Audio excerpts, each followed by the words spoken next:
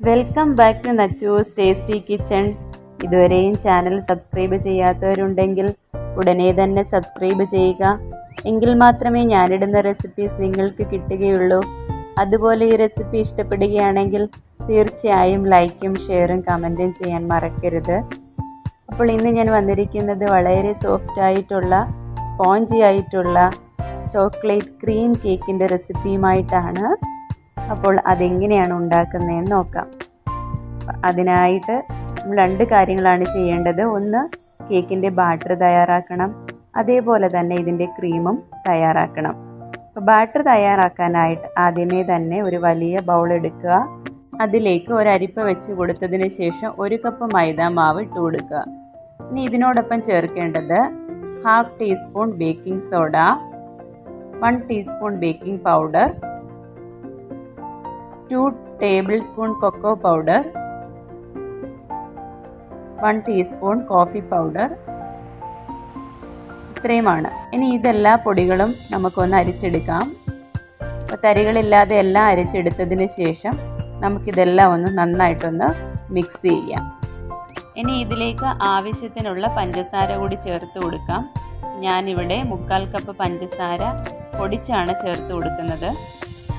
അതും കൂടെ ചേർത്ത് കൊടുത്തതിന് ശേഷം ഇതൊന്ന് നന്നായിട്ടൊന്ന് മിക്സ് ചെയ്ത് യോജിപ്പിക്കാം. ഇനി ഇതിലേക്ക് നമുക്ക് ഒരു കപ്പ് പാൽ കൂടി ചേർക്കണം.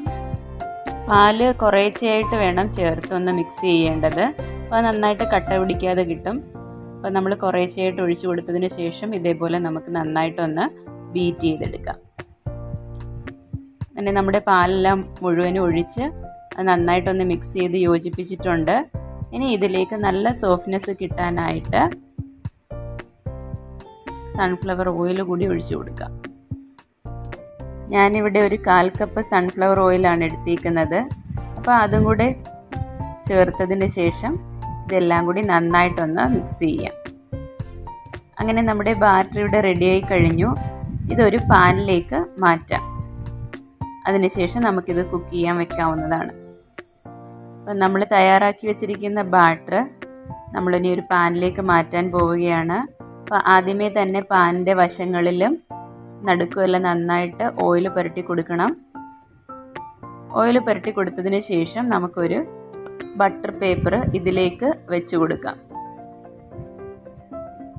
അങ്ങനെ നമ്മുടെ ബേക്കിംഗ് പാൻ ഇവിടെ റെഡി ആയിട്ടുണ്ട്. ഇനി അതിലേക്ക് നമ്മൾ തയ്യാറാക്കി വെച്ചിരിക്കുന്ന ബാറ്റർ ഒഴിച്ചു കൊടുക്കാം. ബാറ്റർ ഒഴിച്ചു കൊടുത്തതിന് ശേഷം നമുക്കിതൊന്ന് രണ്ട് മൂന്ന് പ്രാവശ്യം ടാപ്പ് ചെയ്യേണ്ടതായിട്ടുണ്ട്. കാരണം ഇതിൽ എന്തെങ്കിലും എയർ ബബിൾസ് ഉണ്ടെങ്കിൽ അതെല്ലാം മാറി കിട്ടുന്നതിന് വേണ്ടിയിട്ടാണ് നമ്മളിങ്ങനെ ടാപ്പ് ചെയ്യുന്നത്. ഇനി ഈ കേക്ക് കുക്കറിലാണ് ഞാൻ ബേക്ക് ചെയ്യുന്നത്. അതിന് മുന്നേ നമുക്ക് ഈ കുക്കർ ഒന്ന് സെറ്റ് ചെയ്തെടുക്കണം. അപ്പം കുക്കർ സ്റ്റൗവിൽ വെച്ചതിന് ശേഷം അതിലേക്ക് അല്പം ഉപ്പ് വിതറി കൊടുക്കാം അപ്പോൾ അതിന്റെ ചെവിട് കരിഞ്ഞു പോകാതിരിക്കാനാണ് അങ്ങനെ ചെയ്യുന്നത്. എന്നിട്ട് അതിലേക്ക് എന്തെങ്കിലും ഒരു തട്ടോ ഒരു റിങ്ങോ വെച്ചതിന് ശേഷം നമ്മൾ തയ്യാറാക്കി വെച്ചിരിക്കുന്ന പാന് അതിലേക്ക് ഇറക്കി വയ്ക്കാം അപ്പോൾ കുക്കർ മൂടുന്ന ടൈമിൽ അതിൽ വിസിലിടാൻ പാടില്ല. ഇനി ഒരു ഫോർട്ടി ഫൈവ് തൊട്ട് വൺ അവർ വരെ ഒരു ലോ ഫ്ലെയിമിലാണ് നമ്മളിത് കുക്ക് ചെയ്തെടുക്കുന്നത്. അപ്പോൾ ഇപ്പോൾ നമ്മുടെ കേക്ക് നന്നായിട്ട് വെന്ത് വന്നിട്ടുണ്ട്. ഇനി ഇത് കുക്കറിൽ നിന്ന് മാറ്റി വയ്ക്കാം ഇത് തണുക്കുന്ന സമയം കൊണ്ട് നമുക്കിതിന്റെ ക്രീം ഒന്ന് തയ്യാറാക്കിയെടുക്കാം. അതിനായിട്ട് ഒരു കാൽ കപ്പ് ബട്ടർ ഒരു ബൗളിലേക്ക് ഇട്ട് കൊടുക്കുക. അതൊന്ന് ബീറ്റ് ചെയ്തതിന് ശേഷം ഇതിലേക്ക് ത്രീ ടേബിൾ സ്പൂൺ കൊക്കോ ആണ് ചേർത്ത് കൊടുക്കേണ്ടത്. അതേപോലെ തന്നെ വൺ ടീസ്പൂൺ വാനില എസൻസ് കൂടി ഇതിലേക്ക് ഒഴിച്ചു കൊടുക്കണം. ഇതിലേക്ക് ഒരു ടേബിൾ സ്പൂൺ പാൽ കൂടി ചേർത്ത് കൊടുക്കുന്നുണ്ട്. ഇനി ഇതൊന്ന് നന്നായി മിക്സ് ചെയ്തതിന് ശേഷം ഇതിലേക്ക് ഒന്നര കപ്പ് പഞ്ചസാര കൂടി ചേർത്ത് ഇളക്കുന്നുണ്ട്. അപ്പോൾ പഞ്ചസാര നന്നായിട്ട് പൊടിച്ചതിന് ശേഷമാണ് ഇതിലേക്ക് ഇട്ട് കൊടുക്കുന്നത്. ഇനി എല്ലാ മിക്സും കൂടെ നന്നായിട്ടൊന്ന് ബീറ്റ് ചെയ്തെടുക്കാം. അങ്ങനെ നമ്മുടെ ചോക്ലേറ്റ് ക്രീം ഇവിടെ റെഡി ആയിട്ടുണ്ട്.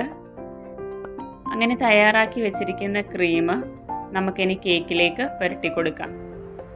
അപ്പം നമ്മുടെ കേക്ക് ഇവിടെ നന്നായി തണുത്തിട്ടുണ്ട്. ഇനി അതൊരു പ്ലേറ്റിലേക്ക് ഞാൻ മറിച്ചിടുകയാണ്. നമ്മുടെ ബട്ടർ പേപ്പറൊക്കെ ഇനി മാറ്റണം. ബട്ടർ പേപ്പറൊക്കെ മാറ്റി കൊടുത്തതിന് ശേഷം നമുക്ക് കേക്ക് പഴയ പോലെ തന്നെ തിരിച്ച് വയ്ക്കാം അതിനുശേഷം ഇതിന്റെ മുകളിലേക്ക് നമ്മൾ തയ്യാറാക്കി വെച്ചിരിക്കുന്ന ക്രീം തേച്ച് കൊടുക്കാം. ഞാനിവിടെ ഒരു റൊട്ടേറ്റിംഗ് ടേബിളിന്റെ മുകളിലാണ് ഇത് വെച്ചേക്കുന്നത്.